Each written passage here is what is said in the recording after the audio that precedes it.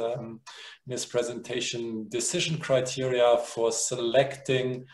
Um, oops, that's. Um, I thought, okay, my title was decision criteria for selecting the most suitable solar modules for utility scale projects from an LCOE perspective. We are very much looking forward to your presentation, Baohua. The floor is yours. Okay, thanks, Mike. So thank you for providing this good opportunity to share my presentation to everyone. So let me share my screen. Okay.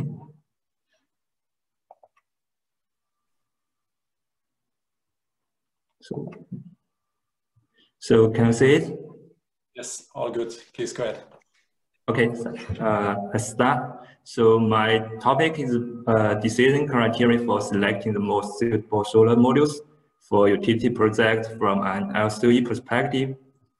So my report including uh, uh, five parts. The first one, I'll give a, uh, explanation about the path to the lowest LCOE, and the following with the lifetime system cost and the lifetime and the yield. And after that, I'll give you a case study to show how to choose the most suitable module for from an perspective. Then I'll give my conclusion. So let's move on to the first slide. So I think uh, everyone is familiar with the LCOE. There's two parts. One is the cost and another is energy. So that's a very long period, at least uh, 25 years, and some are 30 years for double glass. And there are two factors. One is the cost. You see the cost has two parts. The first one is the initial investment, and another part, another part is annual O&M cost. And for another, uh, the second factor is energy. So for the energy, we, we pay attention to the first year and the year, and then we will consider the following year, the, there's a degradation for the system. Okay, uh, here I listed some paths to, to the lowest LCE. LCOE. Uh, this case is based in China, a very uh, a big utility system that's uh, located uh, in west of China in Golmud. And we did analysis from 2020 to 2025, 2025 we see that LCOE from the 4.2 cents per kilowatt hours reduced to 3.1 and that's about 26% decrease. And if we see the module related parts that contributes about 90%, uh, and we focus on this part, uh, we can see that if we assume the module price from 26 cents per watt uh, reduced to the 18 cents per watt it can contribute about 0, 0.3 cents. And following with the, if we assume the module efficiency from 20.5% to 23%, and it, it can contribute uh, about 0.1 cent. And for the degradation and the system, system lifetime, if we using the 0.45 and with 30 years instead of uh, 0.55% with 25 years that can contribute 0.2 cents. And another is for the big size module. If we increase the module power from 450 watts to 600 watt, it can contribute about 0.1 cent. And the last one is the, the system design point. If we use the, the fixed rack with the monofacial trans, translate to the horizontal single axis tracker with bifacial, the, the LCOE will be reduced about 0 0.2 0, 0.2 cent. So that's the, the main part we will talk about today about module related. Okay, let's move on to the next part about the, the LCOEs. The one very important part is the, the system cost. Uh, firstly, I'll introduce the, the in, initial investment cost. Here I did to a sensitive analysis. One is uh, for the efficiency to the BOS saving and another one is the module dimension to a saving. Uh, this case is uh, based on two countries. Uh, one is the US that represents the system with very high, uh, high cost, and another is China as a relatively lower system cost. Let's see the left graph that shows if we increase module power from 445 watts to 400, 455 that we are saving US cost about 0.5 cents per watt in US. And in China, it's about half of that. As for the, the module dimension, uh, we take the 182 module with uh, 540 watts uh, versus the 166 with the 450 watts. And we can see that if we use the, the big size module, the BOS saving in US that is about 1.5 percent, uh, 1.5 cents per watt. In China, it's about one cent per watt. Uh, that's because in China, there's uh, a little lower laboring, uh, labor cost and some insur in, in, uh, insurance. So this is very important to, when you select a module, you need to consider the BOS saving so we need to balance the BOS cost and build a module cost to achieve the, the lowest total system cost. And another cost is about the annual O&M cost. Here we did an analysis about the, the module cleaning cost. We know that this is a main factor to influence the O&M cost in the uh, very long period. Uh, we consider the system is 30 years lifetime, and we calculate the net present value of the cleaning cost. And based into countries, you can see that if we, in US, the cost reduction is about 0.15 cent per watt. But in China, is that is 0.03. That's because we the cleaning is many uh, the cost mainly because of the menu. So the labor cost is a main factor in this uh, cost saving. So we see that we can see that with high module efficiency, there's lower module cleaning cost. So how to achieve the high module efficiency, high module power, and uh, with uh, uh, lower cost? So that's our Astro 5. So this product, we released it in last year. So the highest module power can reach up to 515 watts and the efficiency is about 21.5%. So behind this, we, we use some key technologies. As the firstly, the M10 wafer, and we have the very high mode, uh, very high cell efficiency, and the connect uh, combined with the multi-bus bar half cut design. And the last, last one is the high density interconnection. So I'll give you explanation about one is of the is of the, for more uh, big size wafer. I think uh, everyone is familiar with the the cells uh, area increased by very large for M10 compared to M2. The area increased about 35 percent, and meanwhile, the, if we use the same electrical layout for the module, the power can be increased uh, from one for 450 watts to 540. So that's increased a lot. Meanwhile, it can reduce the cost the, the cell process cost and the non-silicon material cost. A, a second key point is uh, the high cell efficiency. Here we use the gallium doping plus cells. Last year, our product, uh, mass production cell efficiency can reach up to 23.4%, and the average cell efficiency can reach to 23.2%. As for the cell bifaciality, it can reach up to the 7, 78%. The third one is the, the multi-bus bar and the half cut. So as you know, uh, we use the, the round ribbon instead of a traditional ribbon that can in, uh, increase the, the absorb, absorption. And uh, combined with the, the multi-bus bar the, and half cut, we can reduce the ohmic loss. And uh, another, another advantage is with multi-bus bar, it can improve the resistance to the macro correct. So let me address one more point here. So for the multi-bus bar design, here we use the 11 bus bar. That's the highest quantity in, uh, in industry for the size of wafer. So more bus bars, more reliability. And the fourth one is the high density interconnection technology. Compared to the traditional uh, gap between cells is using uh, two millimeters.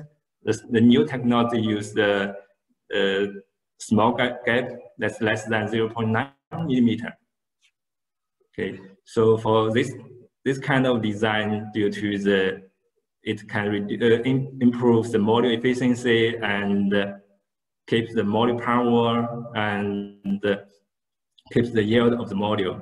So compared to the overlapping gap with negative distance the yield is higher than that one. And uh, in my opinion, theoretically, I think the, uh, the reliability is, is better than the, the negative distance um, module, module design. So uh, as for the energy yield part, we can see that uh, due to the astronomy design with the gallium doping wafer and another, another is with the the non-destructive cutting combined with the, the key point that I mentioned, so it can reduce uh, more energy yield in lifetime. Firstly, let's see the LeTID and RRD. That's a main concern for uh, customers. So we use the very high quality wafer and combined with advanced passivation process. So uh, we did uh, some tests in different uh, third parties and in different conditions that show that for the the less than the for the 168 hours our LeTID degradation is less than 0.5 percent and even for the test period is more than 300, 300 hours our degradation is less than 2 percent that's a very good result for the module. So there's no concern for our 4.5 LeTID and RD degradation. Okay, for the non-destructive cutting, we can see that compared to the traditional cutting, there's a macro cracks in the edge of the cell. The non-destructive uh, non-destructive cutting with a very smooth edge. So it can increase the bending strength of cell. So finally, the, the mechanical performance will be improved a lot. That means after the dynamic load or some other load, the degradation of the this non-destructive cutting has very lower degradation than the traditional cutting. Okay. Uh, besides our design, we last year we got the PVEL uh, NVIDIA's top performer. We our product, the only product won five all around world. You see that we got the highest, highest score in this competition. And this is our first time to got to get got this this award. So Astronergy won the most quantity of the top performer award. Besides our indoor test, we also did some outdoor test. You can see that in in our uh, China, middle of China, and the southeast of China. For the in, uh, middle of China, we did a test uh, in TUV node, and this location with a dry and with a hot and low temperature. And for the southeast of Hainan province, this location with a very wet and hot temperature. So we get a very good result after one year's operation. The annual degradation is less than 2%. It's mainly, okay, sorry. It's only 1.3%. Okay, so based on our design and our test, uh, we have confidence to provide our the top level power out warranty. First year less than 2% and the following year for bifacial is, is 0.45% and for monofacial is 0.55%. And we give a 12 years product warranty. So I think quality is out of design. So based on our design and our test, I think the lifetime, lifetime energy yield can be increased a lot. High efficiency can reduce, can result in a lower MOT and lower small loss. And the low LRD and LeTID effect will increase more the energy yield. The most important is the, the module reliability. So this is a very long period. So the reliability is most key point for the LCOE's reduction. Okay, the the third, uh, the first part I'll give a case study to show how to choose the the most suitable modules for utility projects. Uh, combined with the cost and energy yield. So we we choose a location uh, example to compare the the M6 versus the M10 modules, M10 as uh, monofacial and bifacial. You can see that the module efficiency a little increased due to the, the a little gap. Uh, for the module price, we assume it's the same. And for due to the module weight is different, it assumes the module installation is different. And this location is uh, based in US with 1P single axis tracker. And uh, the scenario is the site area is the same. Uh, albedo is 0.2%, 0.2. That's very typical albedo. And the lifetime is uh, for monofacial is 25 years, for bifacial is 30 years. And the same DC ratio due to the same DC ratio and with the high module efficiency, there's lower GCR. There's a lower GCR. Okay, firstly, let's see the system, uh, the cost part. For the life system cost, we can see that there is a BOS cost and the, the, gray one is the, the net, present, net present value of OPEX cost. For the monofacial, the M10 versus M6, the BOS cost saving is uh, the total life system cost is saving about uh, 1.6 US cents per watt. As for the M10 bifacial versus the uh, monofacial, due to the five years lifetime, the total system, system cost is increased about six US cents per watt. I can say that the, the key difference for the BOS uh, difference is for the monofacial part, that's M10 versus M6, due to the module power increase, the module efficiency increase, the, it can saving the module installation part, the mounting material saving, and the mounting installation. And another one is the DC electrical bill as saving. As for the M10 bifacial versus the monofacial, due to the a little lower power or efficiency, there's a little increase for the BOS, the BOS cost. So this is the, the cost part. So another part is for the end of the year.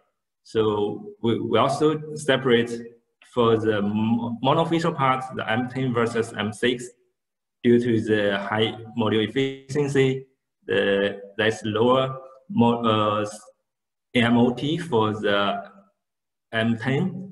So the thermal loss is, is lesser is lesser than the M6, and combined with the the lower GCR, so the piece is more big, more large than the M6. It can receive more irradiance, so it can increase about 0.2%.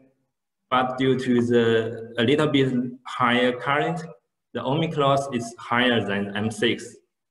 So combined with the, a, a little bit good, a little bit high low performance, low light performance of M10, so the total energy yield is 0.3% than the M6. As for the bifacial versus the monofacial, we can see that we assume the bifacial gain is 5% and the, the lower degradation can contribute about 2%. And the, sorry, and the, the five more years lifetime can contribute about 20%. So we combine the cost and energy yield, we can see that if we target the same LCOE with M6, the M10 module can, can be sold with two cents higher, two cents per watt higher than M6. As for the bifacial, it can be sold with 15.7 US cents per watt than the M6. So the premium is much higher than the M10. So that's why the, the bifacial increased a lot. Okay, uh, I'll give my conclusions about, so we need to pay attention to the module design and reliability. So balance the module price and the BOS cost.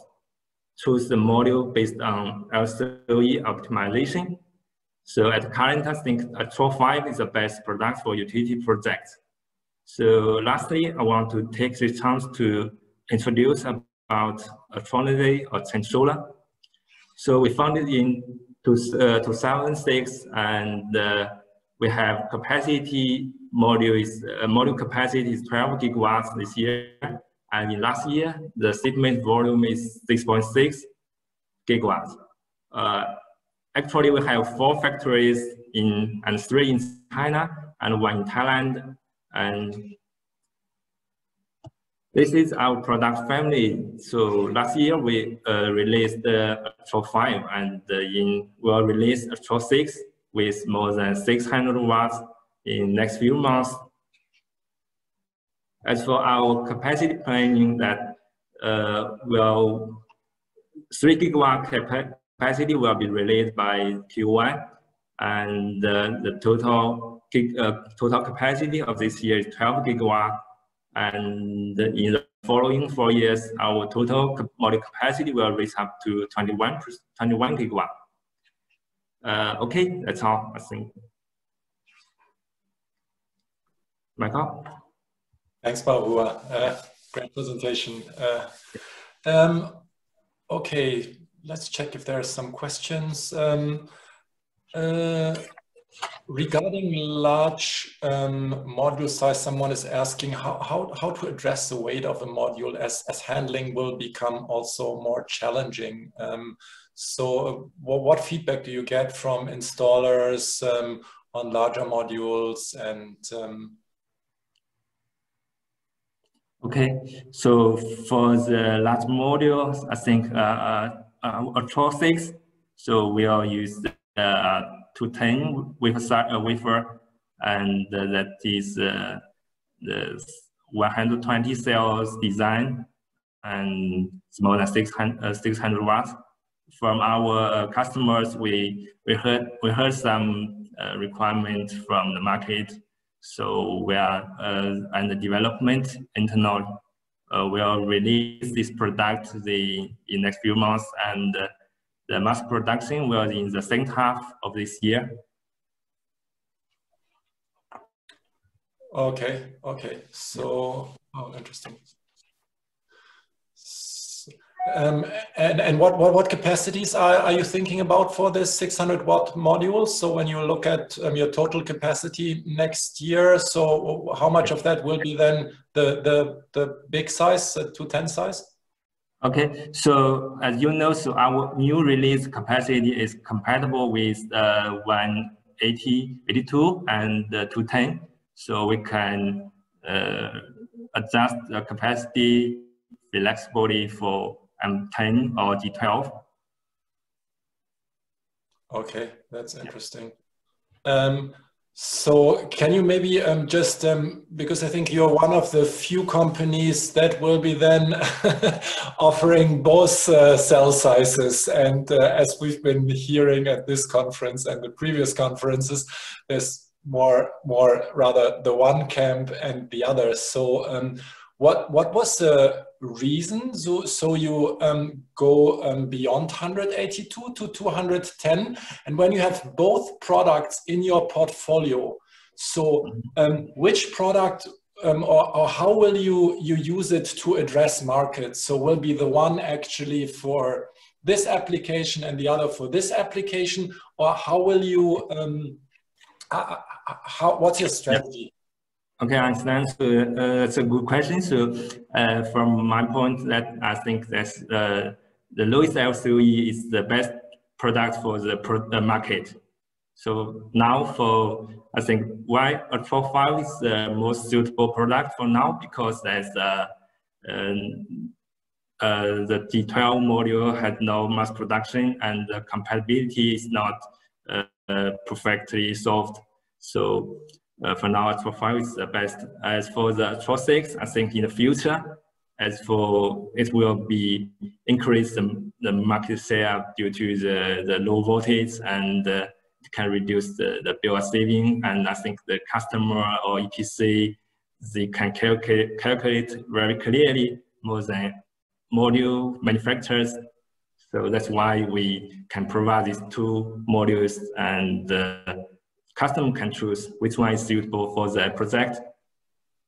I think that's actually a, an, an very nice Solomonic, so I like that.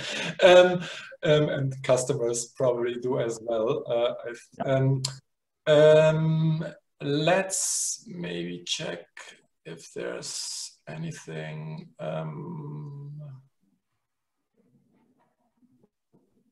Oh, yeah, there's one question. I think that's more a general question, but um, I think for an LCOE calculation is it's important when we talk about inverter lifetime. So how do you calculate that um, when you compare it to a module? Um, the module, I don't know, has either a warranty of 25 years or 30 years, or uh, I think probably the technical lifetime is even beyond that. But um, so so what what do you um, um, calculate for inverter lifetime in your in your calculations? Yeah. So in, in my calculation, I think uh, I used uh, 10 years to replace the inverter.